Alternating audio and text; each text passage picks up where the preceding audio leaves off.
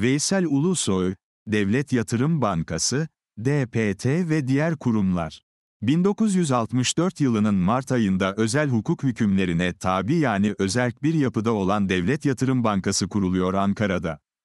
Bir iktisadi devlet teşekkülü niteliğindeki bu bankanın görevi, iktisadi devlet teşekküllerinin yatırımları için gerekli kredileri sağlamak, gerektiğinde bu maksatla garanti vermek, bu kanun ve diğer kanunlarla kendisine verilen işleri yapmaktır, şeklinde tanımlanıyor. Bir bakıma devlet yatırımlarının yine devlet eliyle yapılması için gerekli finansal tarafı yapılandırma amacını üstleniyor, kalkınmanın finansmanı konusunda etkin bir yapı oluşturuluyordu.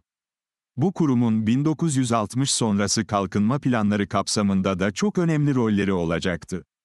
Oldu da, 24 Ocak 1980 tarihinde, sözde istikrar kararları olarak adlandırılan liberal ekonomi politikalarına geçiş ile beraber bankanın yapısal özelliği büyük değişime uğradı.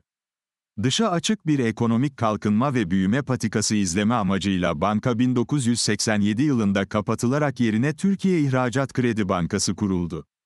Yeni anlayışın ifadesiyle banka yeniden düzenleniyordu, 1960'larda başlayan kalkınma programlarının temel taşlarının başında gelen Devlet Planlama Teşkilatı ise DAIB'den 4 yıl önce, 1960 yılında kuruluyor. Devletin ekonomik planlarının oluşturulması ve bunların etkin bir şekilde yürütülmesi için kurulan DPT, 24 Ocak kararlarından sonra da bu görevini sürdürüyor ama 2011 yılında kapatılıyor.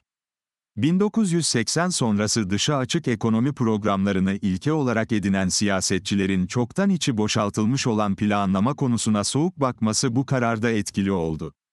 Planlamanın özel sektörün üretim ve dağıtım anlayışına bir rakip uygulama olarak görülmesi ve liberal ekonomik yaklaşımların da baskısıyla oluşan bu atmosferde yapılan hatanın boyutu daha sonra anlaşılacaktı.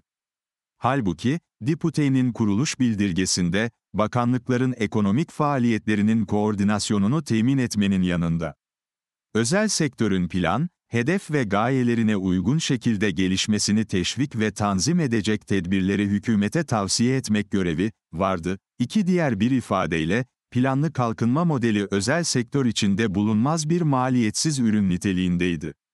Özelleştirme, özerkleştirme ve benzeri yaklaşımlar Devlet İstatistik Enstitüsü için de geçerliydi.